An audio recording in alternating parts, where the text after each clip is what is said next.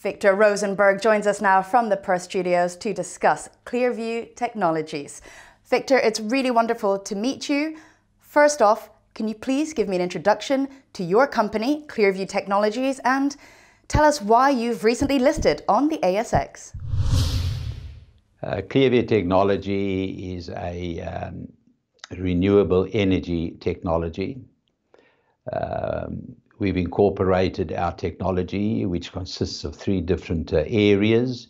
Uh, they all depend on each other to function perfectly, whereby we um, remove the heat and the UV from entering inside a building or a room.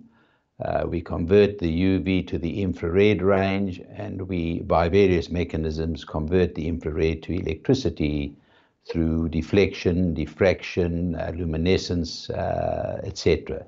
So it's uh, highly insulating, therefore it reduces your energy costs uh, with lighting, cooling, heating, and it also gives you power at the same time. So let me understand this, Victor. You've embedded electronics directly into glass, creating energy generating windows, facades, balustrades, things like this that you can use in commercial as well as residential buildings. Can you tell me about the kinds of clients and distribution that you have now? Well, the people that we will be targeting, of course, are construction companies, architects, engineers. Uh, we're also looking at the food uh, area because we will be building a uh, greenhouse using our technology. Uh, we actually want, want, to be the first to produce uh, a greenhouse whereby it is fully self-sustainable. In other words, we produce the power, and of course keep the temperature cooler inside. Uh, the government has given us a, a grant of $1.6 million in order to uh, build the greenhouse because uh, I think they believe, like, like we do, that that is the future of uh, food.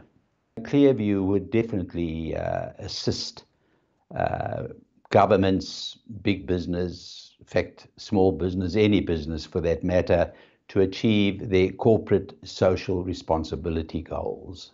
It's really very fascinating, quite exciting technology, and I understand you do hold the global patent. Can you tell yes. us about uh, how you're commercializing this fabulous technology? I understand you've just put out your end of year financial report. So, what is the status there? No, it's all good. You know, we just listed the company. Uh, in fact, in May, we raised $5 million. It was a successful float. And um, the latest report from the ASX uh, listed us as the fourth uh, most successful new IPO listing uh, this year. I'm not sure how many new companies listed, but I'm sure it's uh, probably a couple of hundred. So it's uh, a great feeling, and uh, it's good for my investors, shareholders, and it gives everybody the confidence that um, we're doing a good job and running a good show. Can you tell me a bit about the geographies that you operate in and how you're growing that? Uh, well, we, currently, of course, we're based in Perth, but uh, we're looking uh, all over. We are talking to people in Japan, of course, China, uh, the US, Canada, um, and of course, uh, Europe. We, uh, we're going to we're going to major trade shows where we're actually officially going to launch the product. Uh, in Australia, it'll be September in Port Douglas. And in October, we'll be at Glasstec, which is in Düsseldorf in Germany, which is, I think, the largest glass show uh, uh, globally. And then we're going to the US in Chicago, uh, where we will be exhibiting at Greenbuild, uh, which again is an, another major show. So that's where we're hoping to get uh, all the major players around the world uh, aware of our technology and our products and the various applications. As part of our solid foundation uh, base that we have developed uh, to grow a solid business, uh, we have also gone through the process of accreditation of our products that they conform to um, one Australian standard, so that's been passed and approved and also uh, we've received uh, accreditation in Europe, so we have the CE uh, symbol for the European standards, and we will be starting the American UL um, process in September to get the same accreditation in the US within about six months. Well, you're already doing very well with the deals. I understand you've entered into a deal with Miraca Holdings to uh, get into that residential sector, and you're likewise working with a big Melbourne group to potentially put your technology into shopping centres.